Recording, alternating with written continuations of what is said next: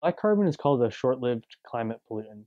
And what that means is that if you reduce black carbon today, you have an immediate impact on reducing the climate warming effects of that pollutant.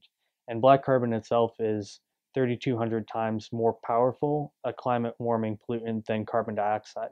So if you start taking black carbon um, and preventing it from being emitted, the black carbon that's in the atmosphere now is going to settle out of the atmosphere.